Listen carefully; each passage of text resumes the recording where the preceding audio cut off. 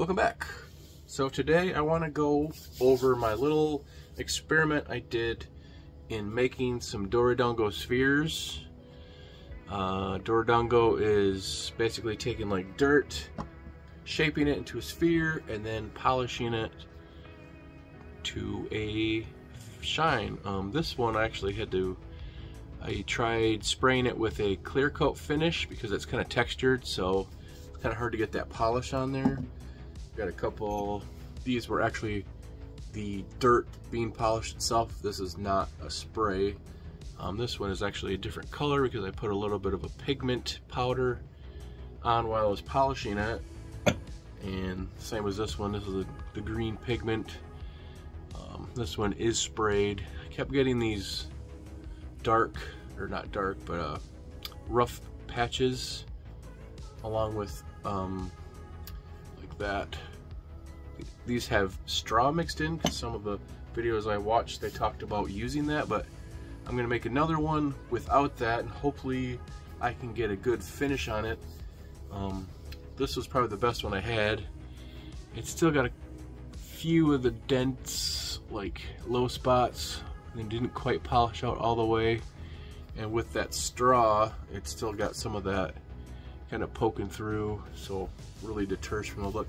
So I'm hoping I can make one that's nice and perfectly smooth, try to get it perfectly spherical, and I'm going to share some of the things I picked up along the way that in most of the videos I watched, there's kind of like variations of how to do different things, and I just want to kind of go over what I learned through the process. I'm no expert, but it's always good to have extra knowledge out there, so hopefully I can share something that helps you in your journey for making a Dorodango. So let's get to uh, mixing process, I guess you'll call it. So let's go. Actually, one thing, um, you don't necessarily need uh, any specialized tools for this, but I would recommend um, I picked this up. It's just an old style like sifter for flour, but it really works good because it's got a fine mesh so you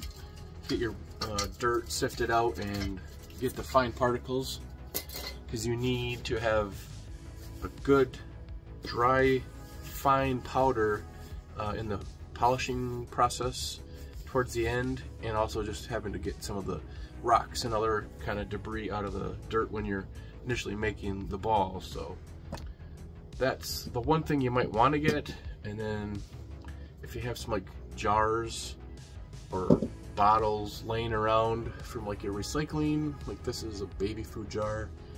Um, and also you can use like PVC plumbing pipe parts and that's gonna give you the help give you that shaping uh, perfectly spherical shape so but we'll go over all that. Those are the only two things that you kind of really need for this, but other than that, just a shovel and digging up some dirt. So with that said, let's get to it.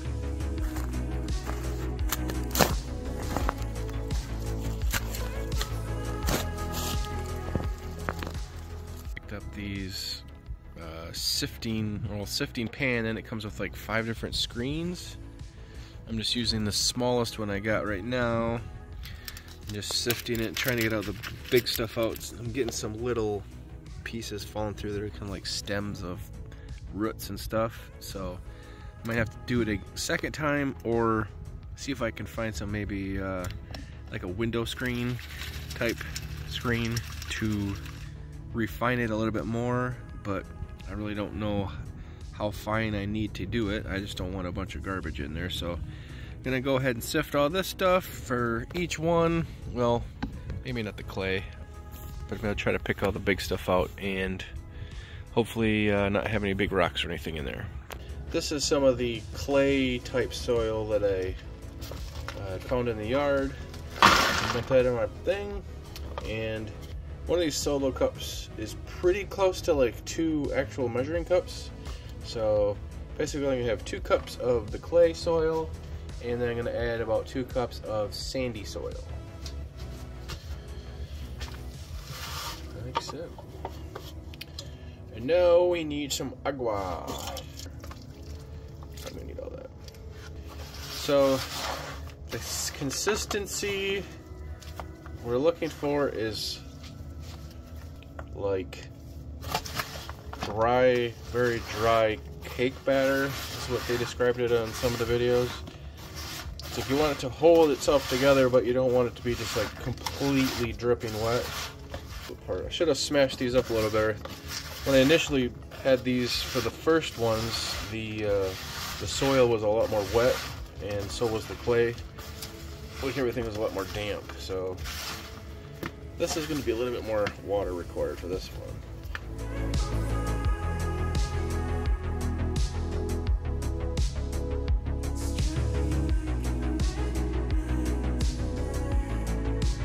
You kind of want to try and compact it as much as you can. Obviously it's squishy, but so it's trying to make sure there's no huge air pockets or voids into this ball. Try to shape it as much as you can into to the initial sphere because the closer you can get it into the right shape now will help uh, will lessen the amount of shaping you have to do later. I think that's what we're gonna get for the first stage. If you start getting cracks or anything like that, don't worry too much about it. Just try to like fill them up as best as you can. And then when you put it in a plastic bag, that kind of helps. It sort of like self-heals itself. I don't know how it does it, but maybe the, the moisture just kind of evens out but um, when you put it into the plastic bag you want to set it in something that's kind of like holding holding the shape because initially when I first did the little one I didn't think about it but when it sits there and you're on a hard surface what happens you get a flat spot so you want to kind of set it in something that's sort of gonna cradle it. Um, so put your plastic bag, like if you've got an old uh, t-shirt or a towel or something and just kind of basically make like a bird's nest shape and just set it in there. It's not gonna be perfect, but you don't want it to just be flat because you set it like that and then the next day you come and it's just gonna be squished.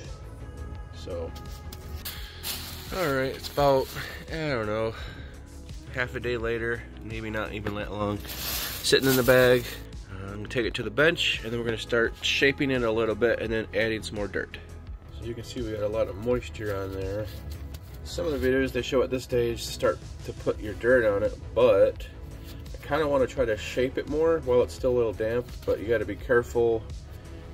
If it's too squishy, you're just going to end up like ripping it apart, but hopefully I can shape it enough, get it more spherical, and that way when I start adding the, the powdery dirt, that creates like the outer shell, it'll be nice and uh, spherical. So hopefully we can shape that up a little bit here.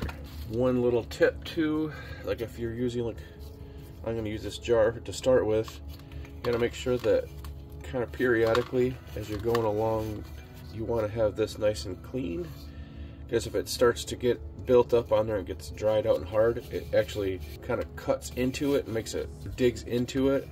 So I got like a towel just sitting on the floor here that I kind of just stick down and give it a little clean off once in a while to help get the buildup off. I just kind of want to go around in a circular pattern. And I actually noticed that the, this cuts into it a little bit more than like using the plastic um, PVC. So you just kind of have to experiment with the different jars and other. We got some kind of string in there. No, it's actually a it's actually a piece of like plant, a small small sprout. Just of give it a turn. You can kind of see where the high spots are, like right here. Let's go over a little bit.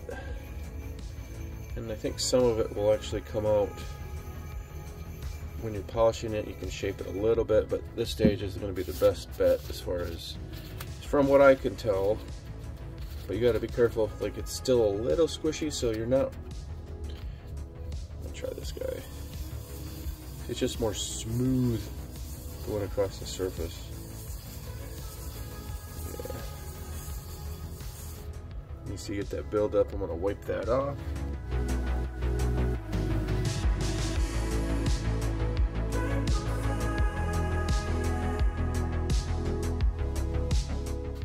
this is my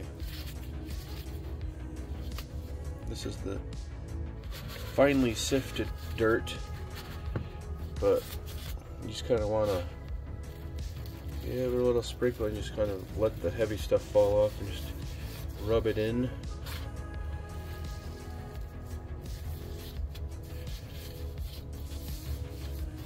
And they say this is supposed to help kind of build up a shell around the outer layer. And you go around, try to get the whole thing. And if it starts to get to the point where the sphere starts to like crack open a little bit, just stick it back into your plastic bag and then come back a little bit later and repeat this process. And eventually, we're going to get to the point where we almost just want to use like the just to dip your hand in there and just kind of touch it so it just makes a fine powder. And that's what helps the final polish. But I could never really get that perfect perfect sphere. So hopefully this one turns out. And when you put it into the plastic bag what it's doing is actually drawing the moisture from the center outwards and that's why you get it built up uh, moisture on the surface so you're trying to dry it out from the inside out, basically. From what I understand, I don't know if that's actually true or not, but I'm only going by what I've learned on the internet, and we all know that that's never wrong. So, yeah, see, it's starting to get a little bit of a crack there. So now I'm going to call that good. To put it back in our bag. I'm to stick it back in its little nest for I don't know, half an hour, come back and see what it looks like, and repeat adding some more layers.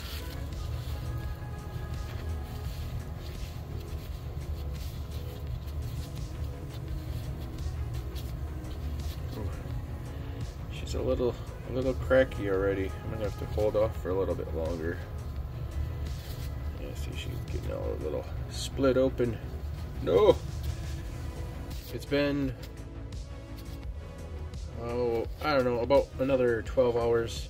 So you can see we get a lot of moisture built up on the surface now. Go ahead and keep adding on our powdery dirt.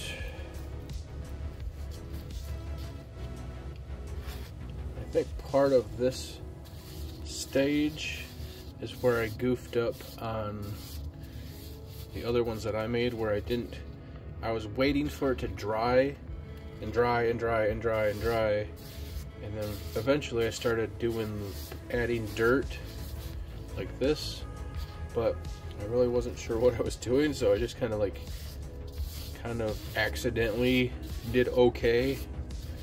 But I think the process right now of adding this dirt is like you're supposed to be building up layers, and I just basically waited for it to be dry enough where I could polish it instead of adding to the outside layer. So I'm hoping that that is the case and eventually we can get a good polished finish on it. I think I'm about ready to go because we're starting to get a little bit of a crack in it again. So maybe do a little bit more on this side.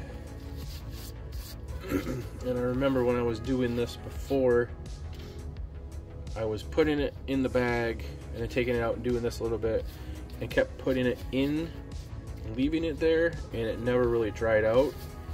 So then I started to just leave it outside of the bag. But when it starts to crack you kind of want to get some of that moisture back to the surface so it kind of seals back up. So I'm gonna yeah we're getting a good crack there uh, go ahead put it in the bag and then uh, see where I end up in about another day maybe here because it's still pretty cold here and I'm hoping to uh, not rush this. I want to do I want to get a good finish on this one. I lost track of how many days it's been since I worked on this because uh, I've been trying to sell a car and been busy. So my little guy's just uh, I've been sitting in this plastic bag the whole time. So we're gonna go ahead and keep adding more dirt. It's starting to feel more uh, solid. So we're getting probably closer to the finishing stage here. But it's all the same, just gotta keep adding more dirt.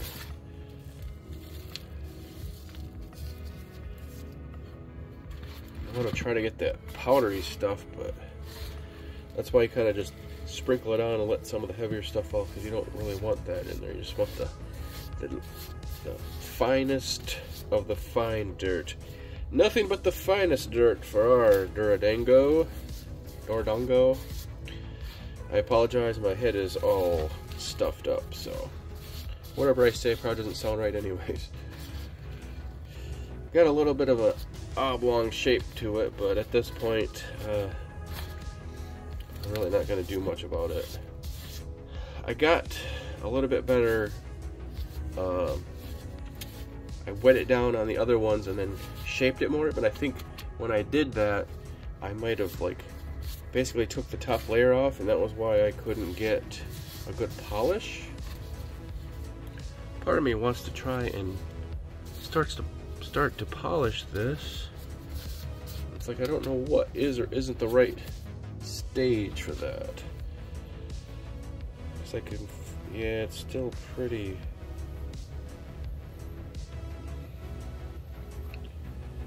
You can get it to get smooth, so maybe I should try doing that. So maybe I'll do this a little bit, and then uh, if I think it's working, I'll continue on, and then I will uh, not. I'll just keep adding dirt. So I'll switch to this for a second.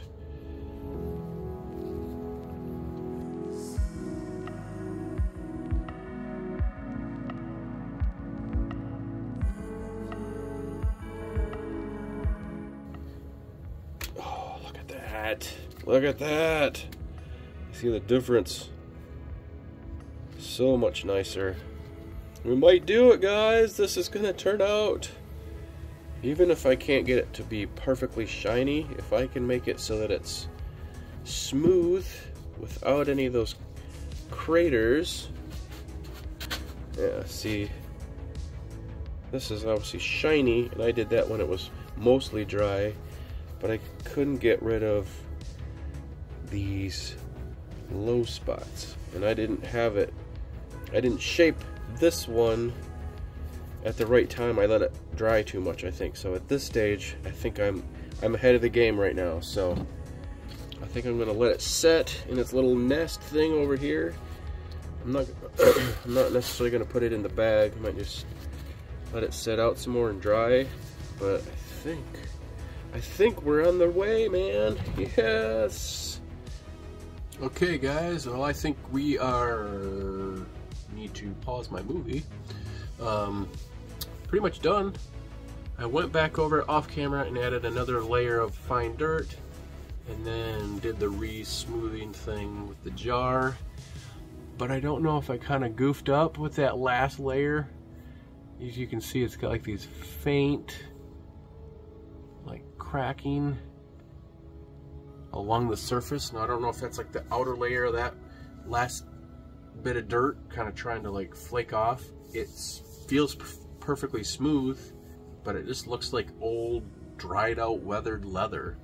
It's kind of cool looking and I don't think it's really going to do anything else. I don't think it's going to like uh, flake off. I could be wrong, but overall, I did manage to get a nice smooth surface without the uh, uh, divots and like craters like this guy.